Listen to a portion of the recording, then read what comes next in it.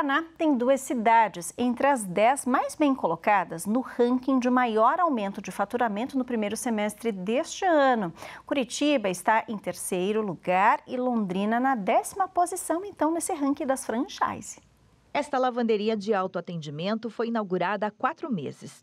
A franquia não precisa de funcionários. Todo o serviço pode ser feito pelo próprio consumidor de forma automatizada.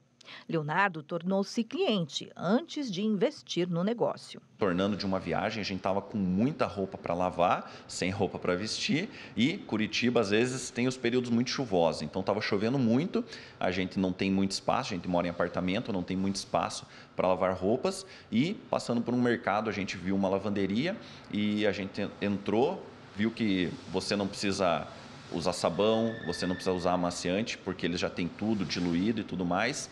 É, pelo fato também de ser dentro do mercado, a gente aproveitou para fazer umas compras, deixou as roupas lavando, secando. Até quando a gente pegou a roupa seca, para nossa surpresa, eu achei que ia ter que passar alguma coisa assim depois, mas não. A gente simplesmente dobrou, colocou na mala, colocou no guarda-roupa e a roupa estava prontinha. Então a gente acabou é, se apaixonando pelo modelo de negócio e foi aí que a gente começou falando, não, eu, é, eu quero ter uma dessa.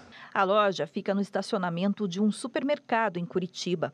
Leonardo conta que optou pelo sistema de franquia pela facilidade de encontrar um modelo já validado. Se eu fosse abrir uma lavanderia, é, primeiro eu ia ter que correr atrás do fornecedor, eu ia ter que ir atrás de um sistema de pagamento, porque é tudo interligado. Assim que você paga a, a maquineta, ela libera a máquina. É, a questão de é, implantação, a parte hidráulica, a parte elétrica, ia ficar por tudo por minha conta. E eles não, eles já estão tudo de mão beijada, basta você executar. Né? E às vezes, como é, é um modelo de negócio onde a gente procura é, uma diversificação de renda, é algo que às vezes a gente não tem muito tempo para ficar em busca de todas essas informações. E como eles têm um padrãozinho para seguir, eu acho que é a melhor coisa. Assim, como eu falei, é, a franquia antes eu era meio contra, hoje em dia eu sou muito a favor.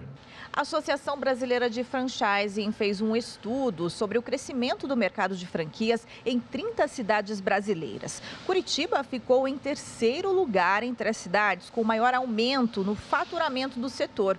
O período avaliado foi o primeiro semestre deste ano na comparação com o primeiro semestre do ano passado. O faturamento do setor aqui na capital foi de mais de 2 bilhões e 700 milhões de reais, crescimento de 21,11%.